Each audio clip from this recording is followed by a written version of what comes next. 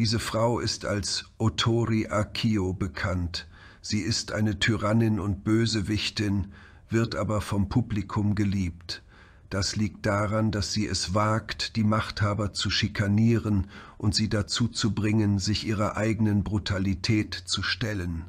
Sie ist die Anführerin einer Gruppe namens Villains Wiki. Ist sie wirklich eine Bösewichtin oder wird sie schmerzlich mit diesem Namen gebrandmarkt, weil sie nicht bereit ist, die falschen Wahrheiten zu akzeptieren, die von Männern an der Macht verbreitet werden? Spielt das alles eine Rolle? Es tut nicht. Am Ende gibt es nur eine verbrannte Erde, die eine tote Sonne umkreist.